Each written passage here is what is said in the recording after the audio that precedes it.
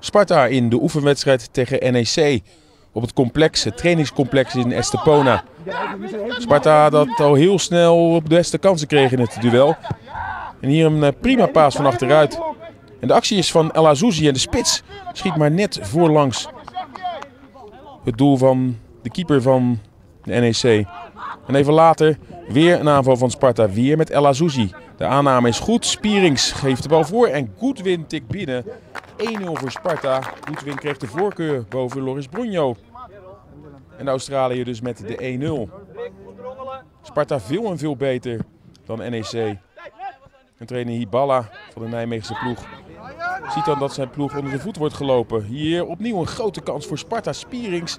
Alleen de bal gaat er uiteindelijk niet in op miraculeuze wijze. Verdwijnt de bal toch achter het doel. Kans voor Spierings op de 2-0. Maar voor rust wordt het alsnog 2-0 met Dijkstra. Een lange bal naar de rechterkant. Prima aanval. Thomas Verhaar kapt de tegenstander uit.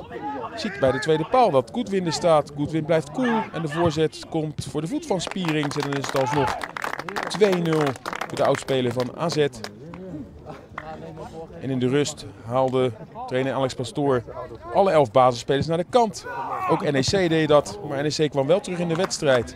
Van Haken met een kopbal en al vroeg in de wedstrijd de 2-1, de aansluitingstreffer. Bij Sparta maakte de Fin Saksala maakte zijn uh, debuut. Hij is 1 januari overgekomen vanuit Finland. Weer Van Haken met een 1-2.